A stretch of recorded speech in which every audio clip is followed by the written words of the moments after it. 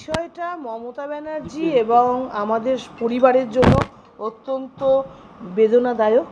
কারণ কি এত বছর কংগ্রেস রাজনীতি করার পর মমতা ব্যানার্জির সঙ্গে তৃণমূল পার্টি এবং মমতা ব্যানার্জির আশীর্বাদের হাত শোভন ব্যানার্জির মাথায় যেভাবে ছিল, আপনারা দেখেছেন, তিনি মেয়র এবং তিনি তিনটে দপ্তরের মন্ত্রী ছিলেন।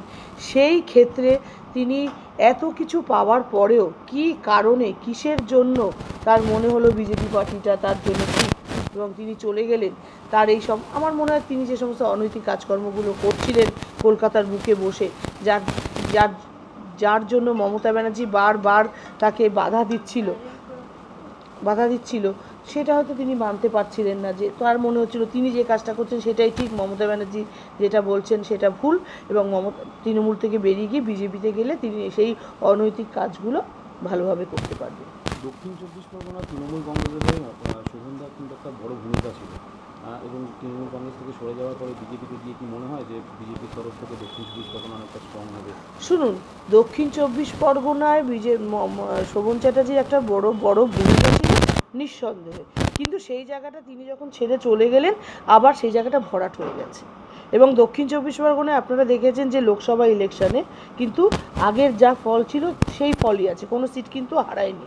তো সেই ক্ষেত্রে সেই জায়গা পূরণ হয়ে গেছে। এখন শোভন চ্যাটার্জি যদি মনে করেন, তার আগের ক্যারিশমা নিয়ে তিনি আবার দক্ষিণ চব্বিশ পরগনায় এসে বিজেপিকে দাঁড় করাবেন, সেটা সম্ভব নয়। কারণ মানুষ বিজেপিকে বিশ্বাস করে না। মানুষ তৃণমূলকে বিশ্বাস করে। এবং তৃণমূলের যে নেতৃত্ব আছে এখনও পর্যন্ত তারা দক্ষিণ চব্বিশ পরগনাকে এগিয়ে নিয়ে যাওয়ার জন্য যথেষ্ট।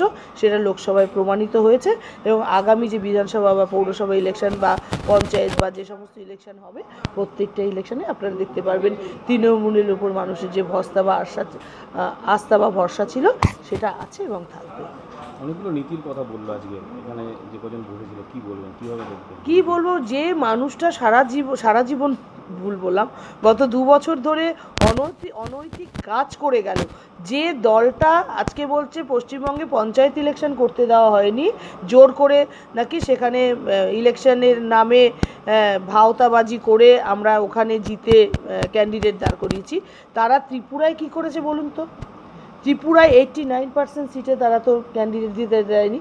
সেখানে সেইভাবে ইলেকশন করে তারা জিতেছে তো যে দলটি অনৈতিক কাজকর্ম করছে, তারা আবার অন্য দলের নীতির কথা কি করে আওড়ায়? আর শোভন চ্যাটার্জি, যিনি সব থেকে একজন অনৈতিক লোক, যিনি আমাদের পরিবার, আমরা বাঙালি বা আমরা ওয়েস্ট বেঙ্গলের লোকেরা, আমরা পরিবারকে খুব সম্মান জানাই। এবং আমাদের কাছে পরিবারটা খুব আগে।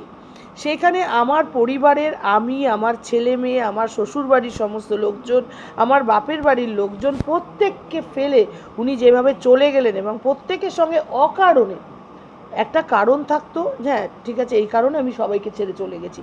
একটা অকারণে সবাইকে ত্যাগ করে উনি চলে গেলেন, সেই মানুষটার মুখে আর যাই হোক নীতি কথা মানায় না।